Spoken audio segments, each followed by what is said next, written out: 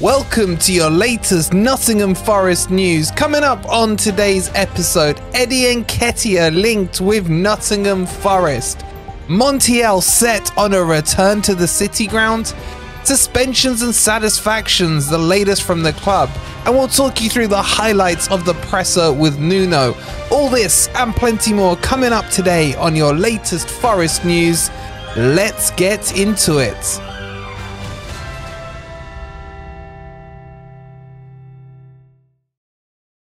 Good morning, good evening, or good night. Hope you guys are doing well, and welcome to your latest Forest news and transfer news.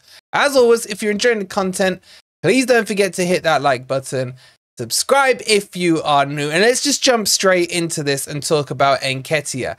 Now, this link is coming from Sky Sports, apparently, and a few other sources. I really hope it's like April Fools or something like that. Eddie Nketiah the Arsenal, I'd call him reject, but I guess we can't say things like that in this freaking snowflakey environment. So we'll call him the Arsenal reserve player, the backup to Gabriel Jesus, who's always injured, yet he's still backup to him even when Jesus is injured. And Kai Havertz, who isn't even a striker. Anyway, he's worth 30 million euros.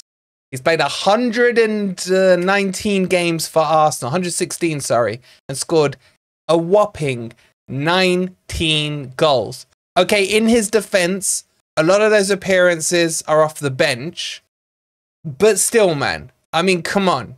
You're playing in a team that has 60 70% possession. You'd expect a better return than that. You really would. He's 25 years old and he just hasn't broken through into the Arsenal ranks. And you can't give him the excuse that there's a Haaland in front of him or there's a Mo Salah in front of him or, or, something like that. No, he has an injured Gabriel Jesus in front of him who he can't get past, as I've just said. So for me, that's a massive, massive red flag, alarm bells, and everything else. And I was worried about this yesterday and I couldn't bring myself to say it on stream. There was no links yesterday, but logically I was thinking, okay, Bournemouth have just taken Evanilson and they were previously linked to Nketiah. And Forest and Bournemouth's list, if you saw what me and John were talking about, I'll leave the preview on the end screen, it was, it's been very similar. So doing the maths yesterday, I was like, Man, now that they've got him, does this mean Forest are going to link themselves to the other list on Bournemouth because they must obviously share lists between them? And lo and behold, 24 hours later, here we are, lists exchanged. And we're getting we're getting Bournemouth sloppy seconds. Let's be real here. Bournemouth sloppy seconds. The other clubs that are interested in him are Marseille, who are crap. You have Crystal Palace interested in him. And those are the main ones. There's been like some loose rumors that Leicester were interested at the start of the window. And for me, it's a massive no. Look, nothing against the guy, but like I'd be saying to him, Eddie, what have you done for me lately, man, if I was an Arsenal fan? And his answer would be nothing. Let me know if you know what quote that's from. And I, I just, Arsenal would be so excited to sell him. Now, the good news, if you're on my side of this argument, is that apparently there are rumors coming out that say that Eddie is going nowhere. He'll probably be on like a hundred grand as well, which is ridiculous, man. But he must have the best job in the world. Now, the other side of this argument, let me give it so I'm uh, no one can accuse me of not being fair and balanced. People will say, if they're for this Nketiah deal, that he hasn't been given his chance at Arsenal. He needs to go to a smaller club to lead the line, be a bigger fish in a smaller pond, all that usual crap that you hear. What we heard with Jesse Lingard. Remember how that turned out? And I don't really buy that argument. In fact, I can't come up with another argument to say that he would be good. He's terrible in front of goal. And he's had one mini purple patch. It's more like, like a pink patch rather than a purple patch about two years ago where he scored a goal. So for me, it's a no. But what do you guys think? Would you take him or not? Or am I just being my usual whiny self? Let me know in the comments down below. Alright, let's move on and talk about a name we should all be familiar with, and that's Montiel, the World Cup winning penalty taker. pretty much all he's been famous for in the last few years. Apparently, he's linked back with Forest. Now, this is coming from a source with a million followers on Twitter, someone called Gaston Edul. No idea who he is. Okay. And he's doing the rounds around the social media. Now, in his tweet, he says Forest are considering going back in for Montiel, considering being the key word. I I like Montiel. Okay, I thought he was okay last season. He just didn't get a run of sustained games. He, for me, I'd put him in that Sangare bracket where if he was played regularly, had an opportunity, I think he would have probably comfortably taken that right back position. However, I'm not for it because of his age. He's 29. Okay, I know he's not past it and what have you. We could probably get him for a cut price deal. But I'll be honest with you, I don't believe these transfer rumors because if Forest really wanted him, we could have bought him with the option we had. But we screwed Sevilla out of it anyway because we underplayed him so that we didn't trigger that clause in the contract. So I don't see how Nuno's gone from um, not wanting to play him at all so we don't have to buy him to now suddenly a change of heart and wanting to buy him. And the only reason that can be behind that would have been PSR and trying to get it on the books this year rather than last year. But to be honest, I don't think Montiel would want to come back. I don't think he was treated that great at Forest under Cooper or under Nuno last year. And I think he'll either stay at Seville or go elsewhere. And more importantly, I think we got enough cover at right back. We got Williams, we got um, Eric Da Silva, and we got Aina who can play there. Obviously, Nuno wants a left back more so than a right back.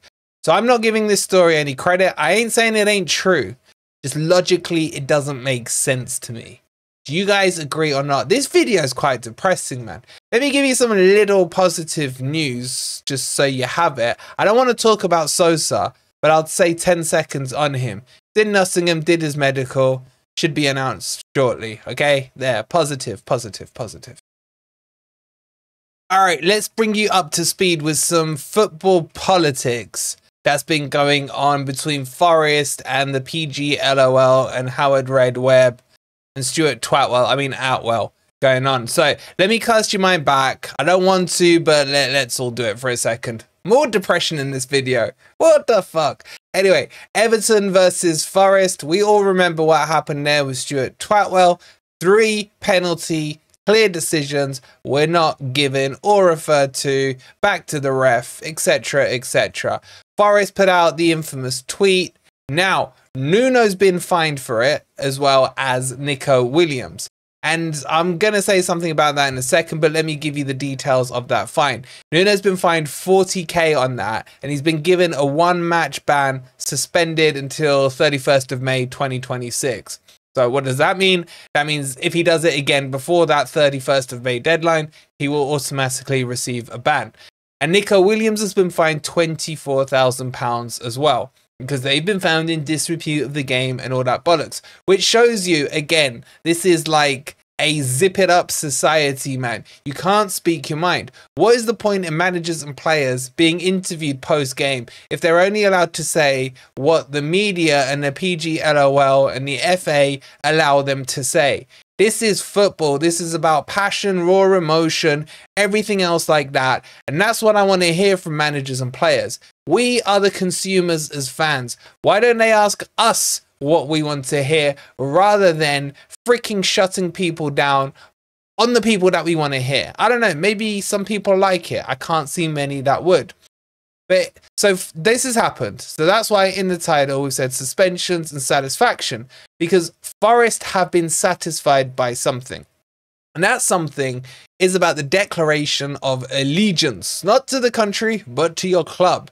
And there has been an update in the policy. And once I explain this, I need you guys in the comments to explain to me what the hell it means. Because it says here when referees put in allegiance forms, they're asked to declare any specific interests in advance of the season.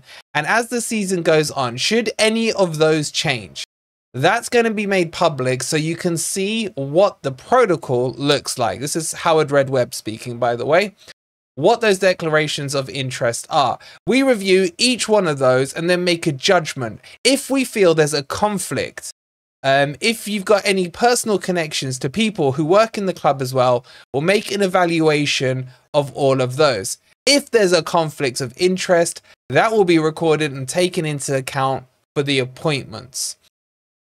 I don't get it.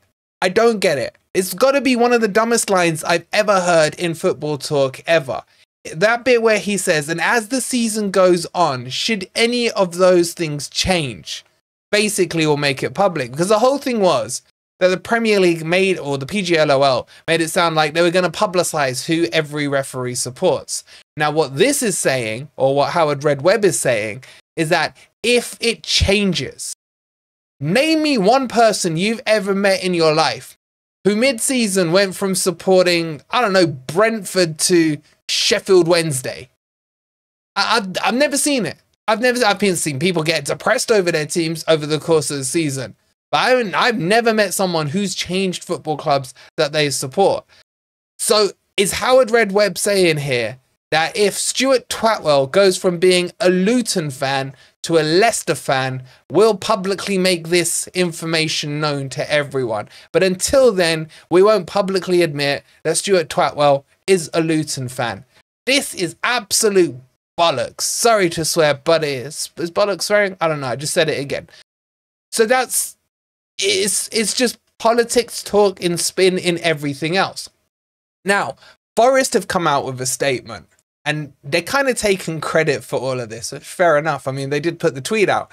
And they've said in April 2024, Forest raised concerns in regards, uh, Forest raised concerns regarding PGLOL. Okay, they didn't write that. I'm saying that. Appointments policy, including a lack of transparency surrounding that policy. We believe that our comments and concerns have been uh, have been listened to and we were pleased that this policy is now accessible to the public ensuring transparency for all clubs and supporters. We are confident that these steps will greatly benefit all clubs and the wider game.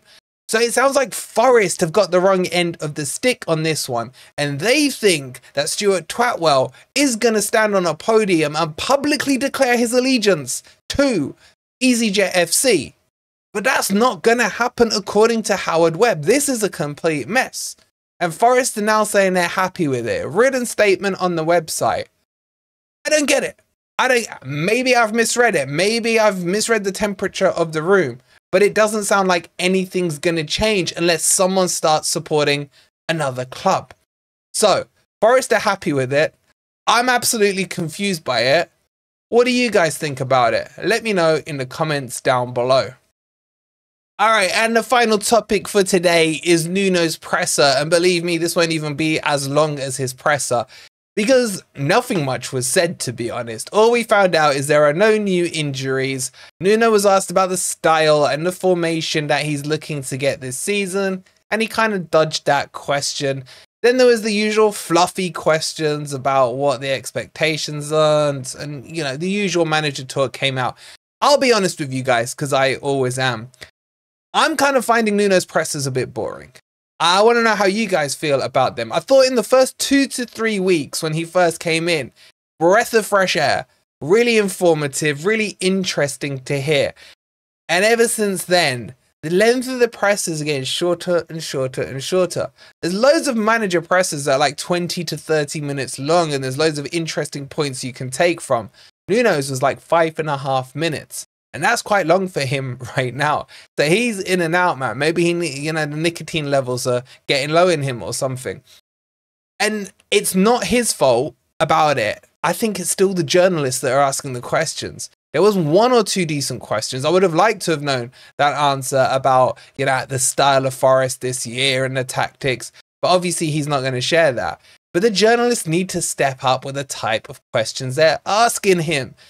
Get some fan questions in there. We know the questions we want the answers to, not the usual questions you're gonna ask that guarantee. I could, I could tell, I could tell Nuno, you know what, mate?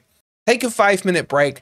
I'll do the presser for you because I know exactly what you're gonna say because it's gonna be same as the manager up the road from you and the one up the road from him and I could just fill in for you because it's going to be the same managerial spiel coming out because the questions aren't great.